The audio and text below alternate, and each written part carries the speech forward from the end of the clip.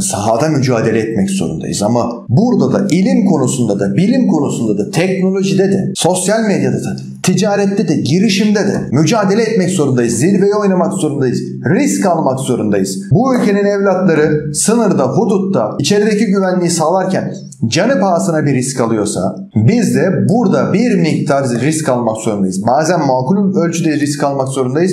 Bazen ülkemiz menfaatleri için makul olmayan seviyede de risk almak zorundayız. Bakın Allah bizimle. Biz alalım riskimizi. Biz işimizi doğru yapalım. Gerisini bırakalım Allah'a. Olacak. Emin olun olacak. Dışişleri Bakanı Çavuşoğlu diyor ki son zamanlarda Yunanistan'dan ve Rum kesiminden provokatif eylemler var. Bizim kısa zamanlığımıza girilmeye çalışılıyor. Haklı olarak bizim de donanmamızda önce uyarı yapılıyor sonra gerekli tedbirler alınıyor diyor. Gerekli tedbirler alınıyor. Nasıl alınıyor? Bakın Avrupa Birliği'nin önceki günlerde yapmış olduğu bir yaptırım vardı Türkiye'ye karşı. Bu yaptırım Türkiye'yi pek de etkilemediği için hiçbir yerde bunu pek de duymadık. Ama Yunanistan'a destek vermek için uygulanan bu yaptırım bizi etkilemedi. Türkiye bölgede bir üç gemisi vardı. Eleştiriye açık üç gemisi vardı. Bu gemiler eleştiriliyordu işte dışlanıyordu. Karşı koyuyorlardı. Diyorlardı ki çek bunları öyle yap böyle yap al git. Üç geminin üstüne biz dördüncüyü de yolladık. Ve dedik ki eğer susmazsan beşinci de gelir.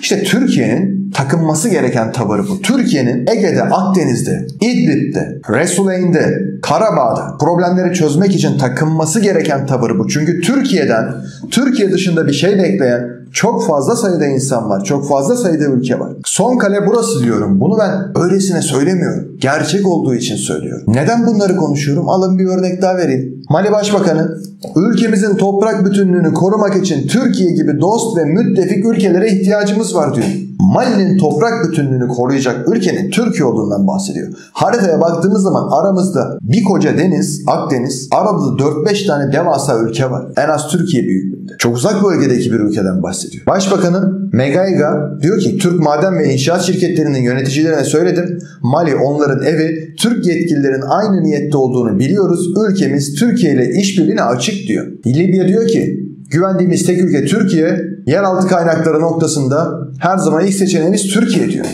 Ben ne demiştim? Türk bayrağı dosta da düşmana da güven verir. Bu böyledir. Bu her zaman böyle olmuştur. Bakın o kırmızının, o kan işlemeli bayrağın üzerine işlenmiş ay yıldız. Bu ülkenin evlatlarının olduğu kadar dünyaya da güven verir. Kimine korku salar orası ayrı. Ama biz savaşacağız dediğimizde bu sözün arkasında durduğumuza da güvenmeniz lazım. İşte bu güven böyle bir şey. İki tarafı keskin bir kılıç. Bizim elimizde iki tarafı keskin bir kılıç var. Sizinkinde de affedersin iki tarafı boklu değnek var yani. Siz de bizi kıyaslamayın lütfen. Böyle bir yanılgıya düşmeyin. Kendinizi rezil edersiniz. Bakın Osmanlı İmparatorluğu bugün dünya üzerinde var olan her ül- üç ülkeden birine hükmetmiş bir imparatorluktu.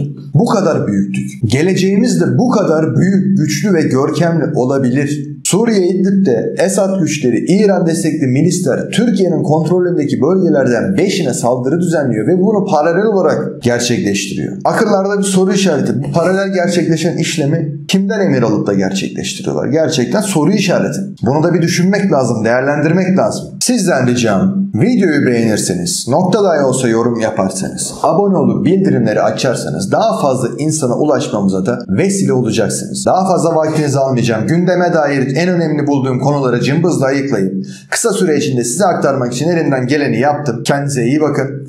Allah'a emanet olun.